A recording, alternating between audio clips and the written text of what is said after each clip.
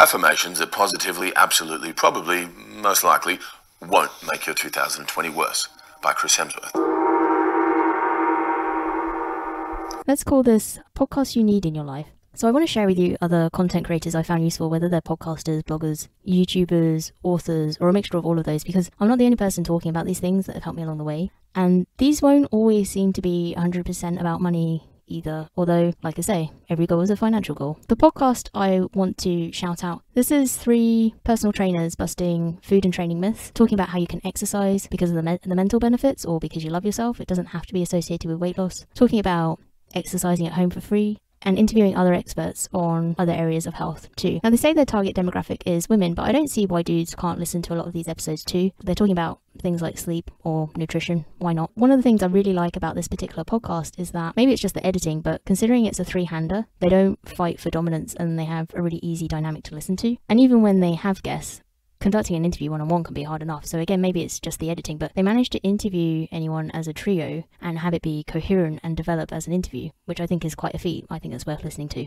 So it's called Fit and Fearless on BBC Radio 5 Live. It's hosted by Tally, Vic, and Zanna. Zanna Van Dijk, I'm most familiar with I'm pretty sure that's how you say her last name. I've mentioned her on the blog before because she's got uh, free strength training workouts on her YouTube and her Instagram lives, and her blog's really good too. She's been blogging for years and years and years. My favourite episodes from the show, so I recommend the sleep episode for sure with Dr. Sophie Bostock. She came up in a, a blog post I recapped. She, she does a lot of media. I recapped a, a TV show that she was on. So I'll link to that as well. I don't know if anyone did the free trial with Centr this spring, you know, Chris Hemsworth's food and fitness app, or if you're just a member of Centr anyway. I think everyone got to hear them regardless because he was promoting it, but he put these sleep meditations on there to kind of talk you to sleep. Now, Dr. Sophie Bostock has the perfect voice for sleep meditations. Perhaps this is something she already offers. The episode won't put you to sleep uh, until you want to go to sleep, but she's got a really a great voice for talking about sleep basically. You can't make decent decisions or financial decisions if you're always sleep deprived. Plus it changes your whole energy and your approach to achieving goals. And then there's the productivity cost when you consider that being sleep deprived is meant to be akin to being drunk.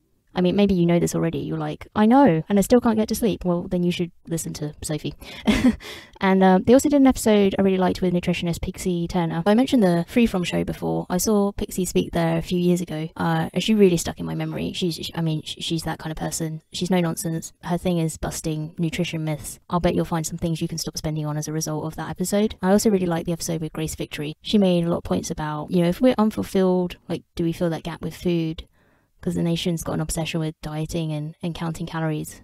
You know, these can be really expensive hobbies. And it's about control. So she was sort of saying, like, this rat race makes us feel out of control. What do we do as a method of control instead? That got me thinking about, you know, the flip side of that is if you overspend, that can actually be you trying to express control. I mean, it's it sounds completely backwards. And to an observer, it might look like, oh my God, you're in so much debt. Like, how are you so out of control? But actually, it's a response to, you know, the outside world being messy. If we can sit and research something in a lot of detail and make this purchase decision we feel really good about because, you know, we chose the color and we chose the exact specification and we chose where we're going to buy it and exactly how much we're going to pay and how we're going to pay for it. But the only thing is we're going to pay for it with credit card debt. It's overspending as a as a method of control. Yeah, it got me thinking about that. Uh, she also, does she talk about it explicitly in the episode. Definitely saw a post of hers afterwards that I linked to the episode about how being busy constantly is, is actually a symptom of high functioning anxiety. So I think that's kind of a pushback against anything out there that would like try and have you be productive every single second of the day. And for some reason, I saw um, Nadiya Hussain's documentary on anxiety. She was talking about being busy every single second of the day because she suffers from anxiety. And I watched that being like, oh wow, imagine baking or like constantly. Like it never clicked with me. Um, and it was only after listening to the Grace Victory episode that I realized don't really know how to relax. I think we just get used to living in a, a certain state all the time, isn't it? But the difficulty on the other hand is it took me six years to launch my blog, supposedly due to a lack of time. I'll let you know.